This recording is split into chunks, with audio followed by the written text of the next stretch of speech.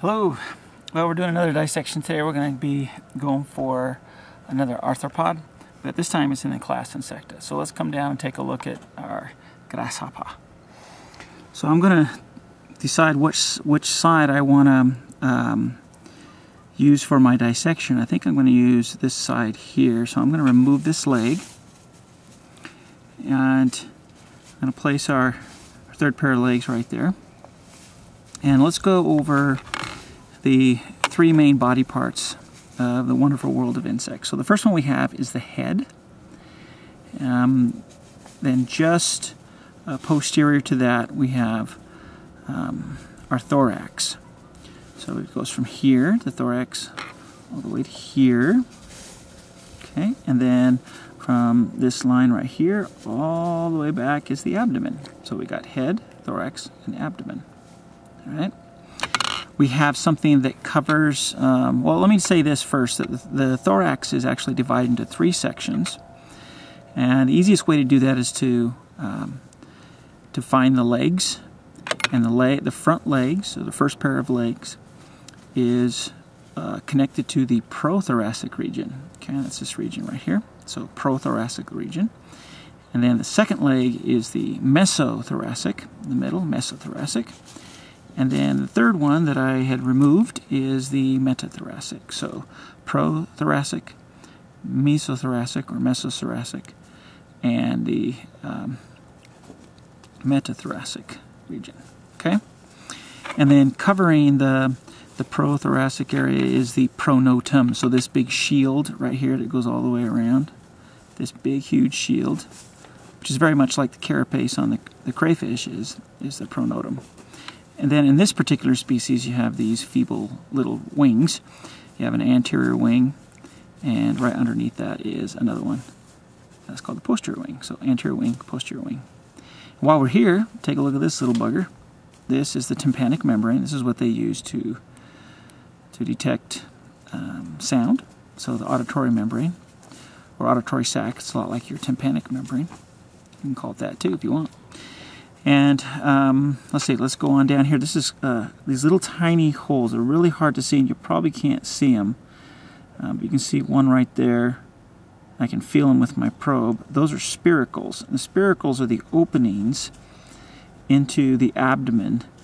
And so the spiracles are connected to trachea and then into tracheoles to help uh, this, this arthropod exchange gases. All right, and then of course we have the antenna and the eyes. And um, we've got a female here in terms of gender. Um, we have claspers here that are used to lay the eggs. Okay, and the males wouldn't have the claspers. All right, to get um, the mouth parts, what I'm going to do is I'm going to pull this back here and let you look at the mouth parts a little bit. And we're going to remove the mouth parts and place these uh, right next uh, to us here and make sure we understand all the intricacies of the mouth parts of this arthropod. But I'm going to place my my forceps right underneath here. This is the uh, the clypeus, okay, right there, and the labrum. And I'm going to grab that, hold onto the head, make sure that head stays on, and I'm going to pull down like this. So I'm going to place all these parts right next to me here. The next part I'm going to remove is the mandible. Now to, to remove the mandibles, I'm going to put my index finger on either side of the eyes here, and I'm going to grab this mandible, and I'm going to pull it right there. Off it comes. It's actually much more difficult than the, what it looks like. I place my, my mandible here. So I got the upper lip, I have my clypeus, and my labrum. And I'm going to grab that other other mandible. I can just stick, extract that right there. So, mandibles. And then I'm going to go for the maxilla. Sorry, maxilla. Okay, there's one maxilla. And the other one right here. Hold onto that head to support it. I also have the maxillary palps with that, you see.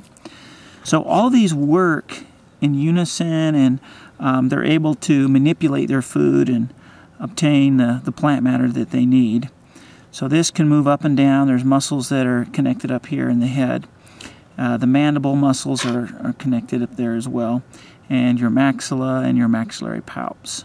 Okay, the bottom lip, the labium, I'm going to grab here with the labial palps. That leg is in the way there. Okay, so I got the bottom lip. So I'm going to put that right here.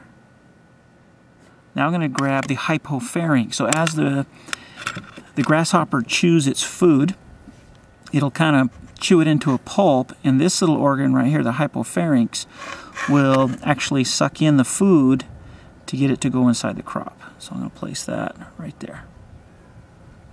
Okay, so let's go over these again. So at the very top, I have the clypeus, and that's above this line right here, this little piece. Some of it's still on the head there.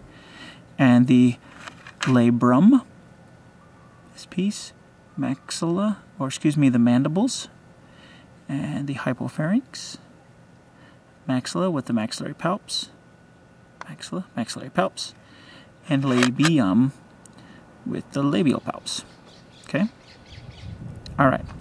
So now what we're going to do is we're going to go inside and take a look at the simple but very effective anatomy of an arthropod. And what we want to do, again, we want to hold it, and I'm going to go in laterally, just underneath the skin,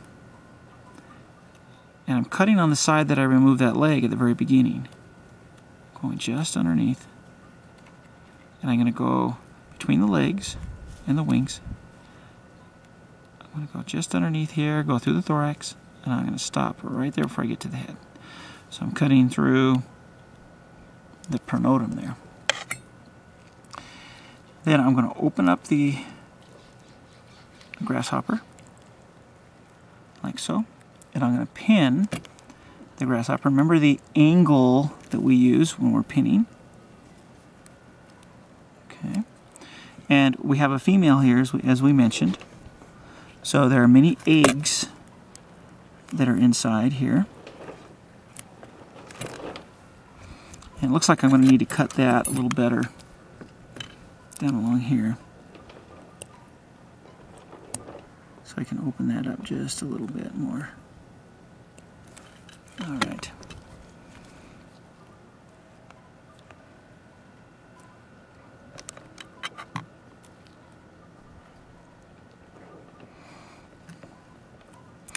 Remember, there are no special effects here. This is the real deal.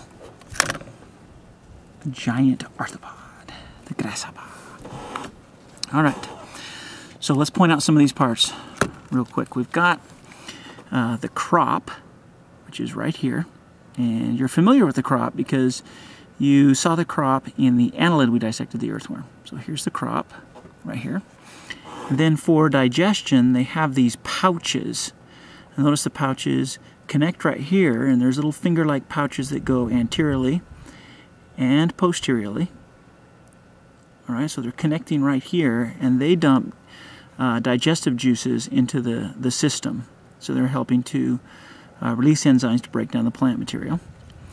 Okay, and then just posterior to that, we have the stomach region. Okay, so here's the stomach region. Then the intestines, and then the rectum. So we've got crop, gastric ceca. Just posterior of the gastric ceca, we have the stomach region, the intestines, and then rectum. All right. Right here we have the eggs. So this female is loaded with eggs. So this is one of her eggs, two of her eggs. Okay, and I'm going to set those right there. I'm actually going to remove all the eggs because they're kind of in the way just a little bit. Um, let's see if I can find Here's the dorsal blood vessel right here. That's the dorsal blood vessel. And that kind of came off when I was opening it. And hopefully you'll be able to see that. And then, so all of this is egg right here. I'm just going to actually, I'm going to keep it attached. I'm just going to move it to the side like that. Okay. Then I'm going to spin this around now and I'm going to show you the ventral nerve cord. Remember these arthropods have ventral nerve cords.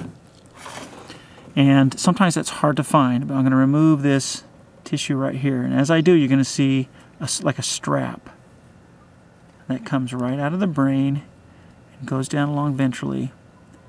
And that's the ventral nerve cord. And we're going to see that switch when we go get into vertebrates. We're going to see the nerve cord move uh, dorsally and then be encased also in bone because this is quite precarious. It's right out in the open here, and and with vertebrates, that's that's stuck in the uh, vertebral column. Okay, all right.